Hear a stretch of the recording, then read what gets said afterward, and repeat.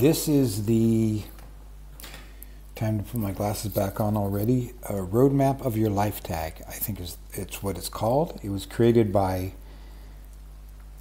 Tristan L. Space Books. I was tagged by a couple different people. I, I was tagged by Greg at another, another bibliophile reads, and I was tagged by uh, originally tagged by Gavin at Genre Books. And this one is about, there's only two prompts, but uh, the length depends on how many places you've lived, I guess. the first prompt, I'll put these in the comments, of course, and I'm going to try and not pause frequently like I just did and, and keep it going because it's going to be rather long. I'm, I'm not, I'm not going to do every address I lived at. What is the book that reminds you of? Or takes place in each place that you've lived. This could mean country, state, province, city, town, and or apartment house. Just come up with a book that really resonates with you and the time you spent in each place where you've had a mailing address. Well, I can't do every mailing address because I've moved around a lot. I haven't really moved around that much as people think since I'm uh, since I'm abroad now from being an American not living in in the United States I'm abroad but, you know, for the last 30 years, I lived in Seattle. So I was born in Boulder City, Nevada, which is near Las Vegas. And the first book I'm going to mention is, I believe it's number eight in the Executioner series by Mack Bolan, because it's the first book I ever read that was that took place in Nevada that I remember reading. It was called Vegas Vendetta. Mack Bolan is the uh, inspiration for a whole host of books uh, in the 60s, numbered numbered paperbacks, cheap paperbacks, men's adventure paperbacks, very violent, fun books. On a theme, the theme of, of the Mack Bolan books, The Executioner, was that his family was killed by the mafia. So I'm pretty sure this must have came, come out right around the time of Death Wish. I wonder. I'll have to look into that. And he goes on. It's a, it's a war against the mafia is the theme. He's a one man army who goes around the country killing mafioso. And he went to Vegas and won. And I remember. Uh, I, I come from a time when when reading wasn't censored. When you know we, we always joke about Gen X having to drink from the drinking from the hose, and it's ten o'clock. We don't know where your parents are, and you know, they let you do your own thing, which, you know, I'm, I'm glad to have grown up in that era, but uh, anyway, all, all, I remember is the lesbian scene in it. That was pretty exciting and a lot of violence. And it was called Vegas Vendetta, and it took place in Las Vegas. So, uh, but by that time, I had already lived in northern Nevada. That's where I went to high school and everything. So, living in Reno. Other than Vegas Vendetta, which I probably read when I was in seventh grade or something like that. I really don't remember any other books that I read that took place in Nevada. It was very rare. I'm sure I've read other books, you know, along the times that take place in, in Las Vegas. You know, there's two Las Vegases. There's the Las Vegas that the world knows. There's the Las Vegas that people grow up in. So that would be a uh, a good venue this is really not going to be as short as i want. I'm only on my first address. That would be that would be a good subject for a novel las vegas as a place to grow up. I'm not going to write it. Um, then so uh, but i will say for reno and all that and for nevada in general i will say the oxbow incident which i, I just read because walter van tilburg clark tilburg clark is the most famous most important writer probably ever to come out of nevada um, and that, that book is great. As I've said now, I believe on three different videos. So where did I move next? I moved to,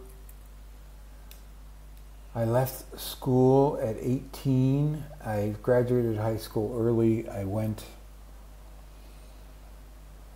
uh, to college for a few weeks in University of Nevada. I, I really didn't like it and so I got on a Greyhound bus with a buddy of mine, and we went to we ended up staying for a while in Boston, Maine. We got an apartment there. Just went our separate ways and uh, stuff. Uh, but we did travel together for a couple months.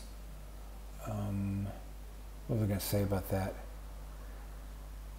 So Boston was interesting. I the interesting thing though is I wanted to go to Maine, to Bangor, Maine, because it was about as far as I could imagine going on a bus. I guess I could go to Florida, which probably would have made more sense, but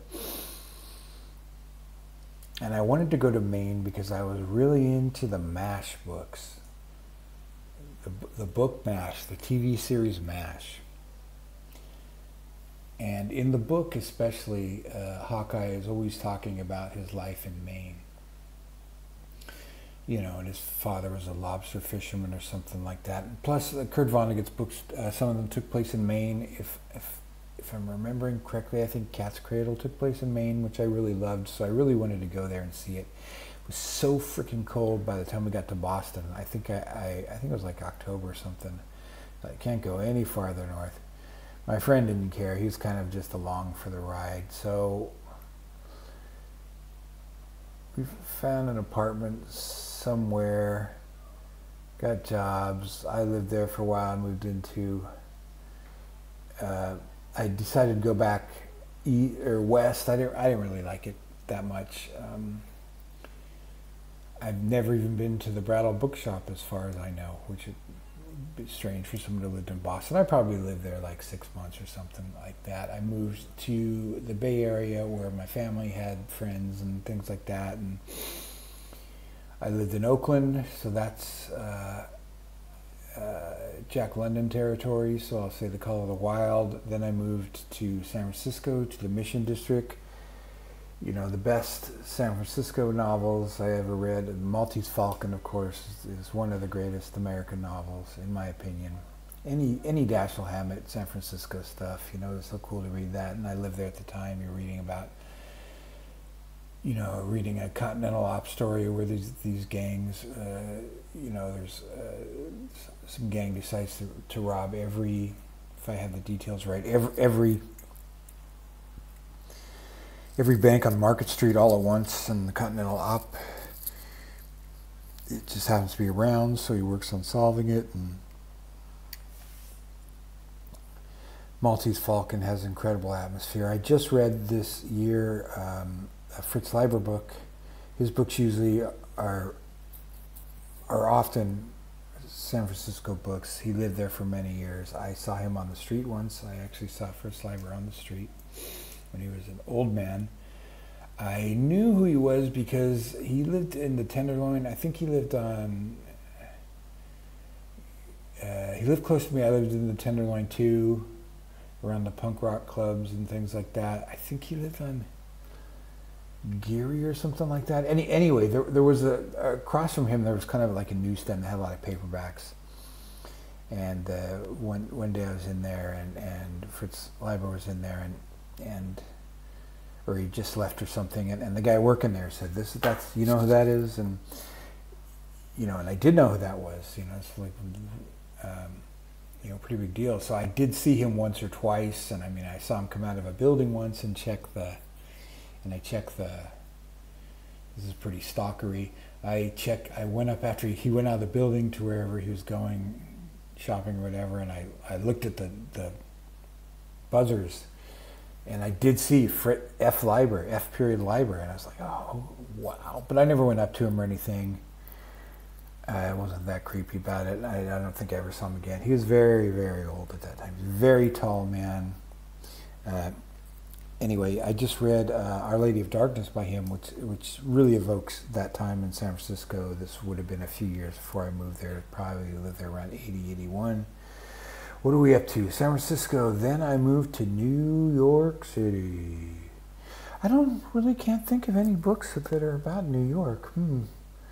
Hmm. There must be something. New York must somehow relate to the world of books and writing, and I just can't think of anything. I lived on the Lower East Side. I mean, what can I say about New York? That's the center of American publishing, and and um, where I read a lot. I read a lot of plays at that time. I rem- remember I enjoyed reading plays. I remember going through. There's a book called, and this is kind of rare for her, for Patricia Highsmith, who lived in the uh, lived in the New York area. She's from Texas. She first moved to New York. She wrote for comic books. She went on allegedly went on a single dinner date with Mickey Spillane. I've heard. That's another idea someone can have to write a one-act play about Patricia Highsmith and Mickey Spillane on a blind date when they were both working in the comics industry. If you can imagine such a thing, if you know anything about either of those people or their, their subsequent lives or anything. Anyway, I'm not going to write that either. Uh, but I will mention, but and then most of her mo- most famous books are really uh, set in Europe because she was in uh, she uh, left the United States for Europe pretty early on, but you know her early books like uh, Stranger on a Train, I think, probably takes place partially in New York. Uh, the Blunderer, uh, which is her second book, but there's a book called A Dog's Ransom, which she wrote later, which she had, uh, from what I read, she actually went back to New York to refamiliarize herself with it as research. that's a really great book. That was one of her first really great books that I read you know, I tried to read everything by her. She's just fantastic writer. Um, I've talked about her before on the channel. So then I moved, and then I moved back to San Francisco. I have in this kind of long distance relationship with the girl in San Francisco, so I decided to move back there. And together, and then we lived in the Haight Haight Ashbury, which is, you know, there must be some hippie books I can think of or something. You know, that was the whole, I mean, this is later, of course, but it was already kind of getting, you could tell it was going to be pretty expensive in Shishi in a few years. We lived there one year, uh, Golden Gate Park. Uh, you know, I keep thinking of movies. When it comes to that area, I think I think of movies a lot you know, What's Up Doc's a great San Francisco movie by Peter Bogdanovich. Uh, Thin Man always makes me think of New York too. Going back to New York for a minute. Oh, and then we did move back to New York. The two we lived there like one year, but then uh, we both felt like trying New York. I and so I'd lived there a year, and then we moved to New York together, and we lived there about six years, I think, together well, three, four years together that we broke up, and I lived there maybe another couple years. So that was my longest stint in New York, and um, and again, there's really just no books about New York. I don't know what people do there. Do they read? Do they do they just um, eat pizza? And I don't I don't know. There's really nothing ever ever ever happened in New York, so there's really nothing to talk about.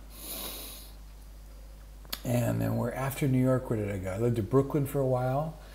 Uh, last exit to Brooklyn's a pretty uh, by Hubert Sel- Selby Shelby Selby.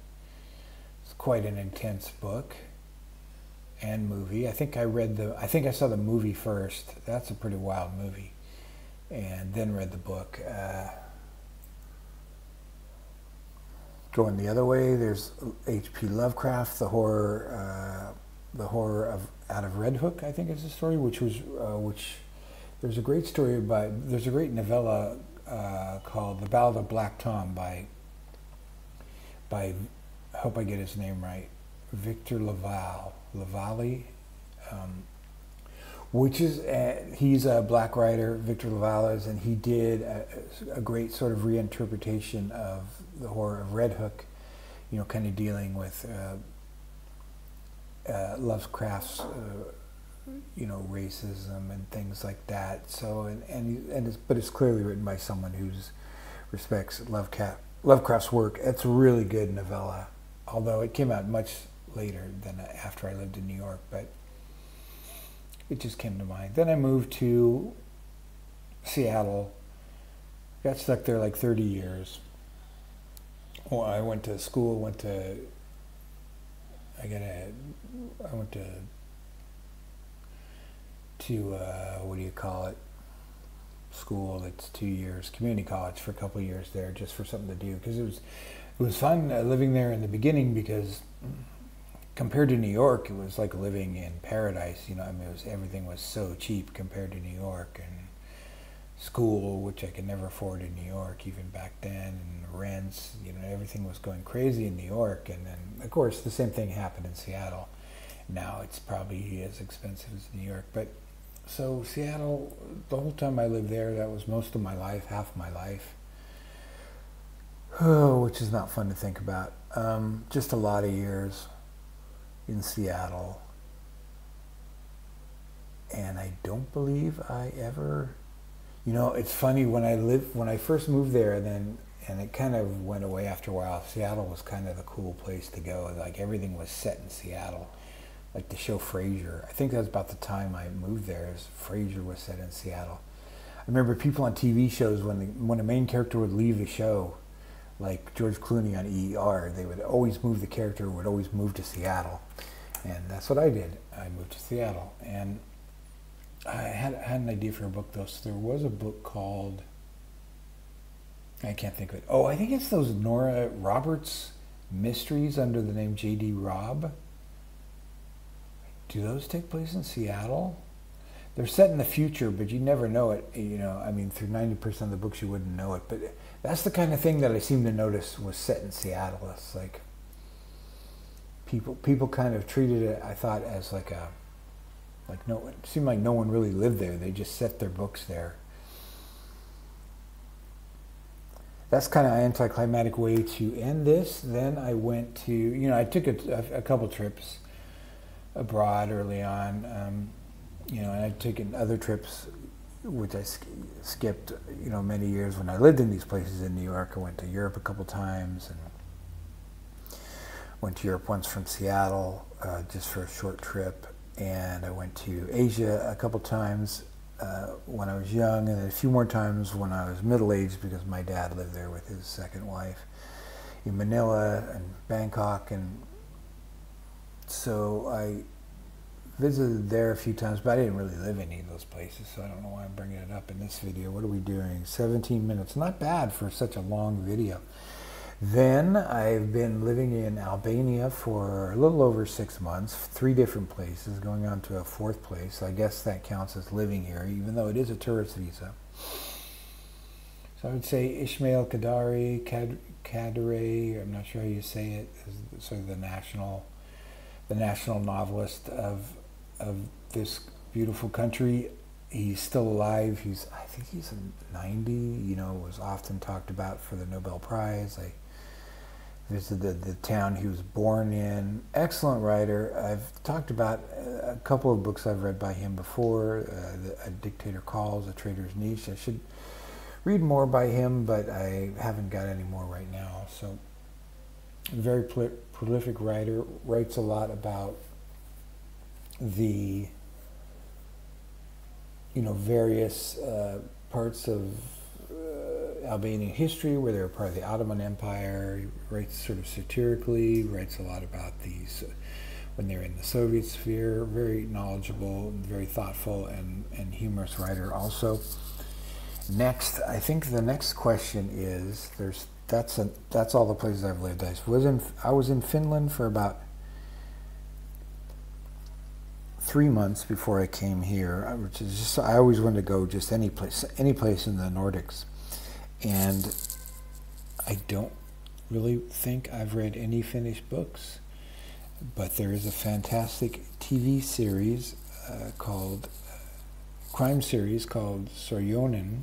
I think it's is the name oh, it's called Border Town in English, you know, because they take the they take these Scandinavian series that are always named after the main character, and then they give them some kind of uh, because they think Americans aren't going to be able to pronounce the name or understand it's going to look like a funny word to them, so that then they give it a kind of generic title like Border Town. Doesn't make it easier to find because there's another series called Border Town too. I'll link to that. It's like three seasons. Wonderful, wonderful. If you like if you like Scandies, if you if you like Scandinavian crime horror, you know, like the the Border and all, all those different shows. I think it's my favorite of all those. Anyway, and it's in Finnish, so you will not understand a word of it. But you will, but it does, of course, have subtitles. I don't know why I said all that. Okay, so, okay, since the, okay, since number two, second uh, thing, since the road roadmap not only shows you where you've been, but also where you're going. What is a book that reminds you of or takes place in your next destination or a place you'd like to live? Well, I'm going to Madrid in October for two weeks, then down to the Canary Islands. And this is where I demonstrate my ignorance of Spanish literature and say, I guess, Cervantes and Lope de Vega. I don't know who else. And I'm not even sure Lope de Vega is Spanish. I mean, you know, is from Spain. He's a playwright, right? Terrible. I, am much better on South American authors. I want to go to. Um, eventually, when I'm done with this part of the world, I'm definitely going to Central America, Mexico, Central America, and South America. I want to see Argentina, where all my favorite writers live, where Borges lived, and Adolfo uh, Bioy Casares lived, and um, and um, Julio Cortázar. Is how I said Cortázar. I don't know how to say it. So many, so many names I thought I knew how to say until I had a got a YouTube channel. Now I don't know how to pronounce any of these people's names. You know, any place in South Central America, South America. Um, in Colombia, Garcia Marquez and and um, and Jorge Amado in in um, Brazil. I mean, that's kind of my other than America, America. Um, the U.S. I mean, I I really think I like. Uh, other than books in English, I think I'm most familiar with South American books. So I'm going to do a literature of that. If you're watching this channel in three or four years, uh, we'll talk again. Thank you.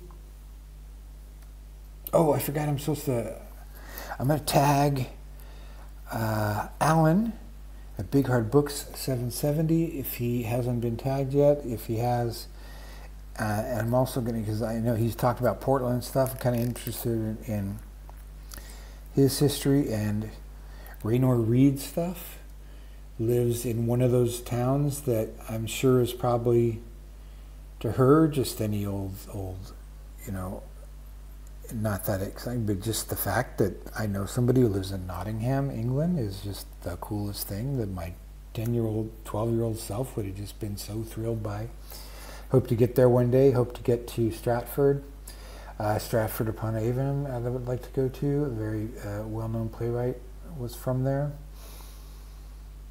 I've been to London a couple times. Don't know that I'll be able to afford that again. I would like to see some other parts of England though that I haven't seen, like Cornwall, uh, Bath, Bath. I'd like to see very much. I'd like to go to Wales.